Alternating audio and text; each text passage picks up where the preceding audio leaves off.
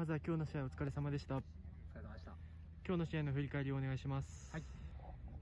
えー、まあトーナメント2回戦ということで、えー、と非常に厳しいゲームになると予想してましたが、あのーやっぱり先制されてですね、やっぱりこう立ち上がりから厳しい展開になりましたけど、あのチーム、えー一丸となってですね、まあ同点に追いついて。